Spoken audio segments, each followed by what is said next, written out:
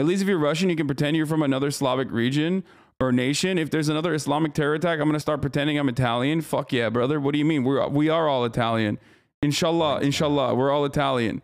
Italians are literally fucking POC, dude. So don't worry. Like you can do that. You can get away with that.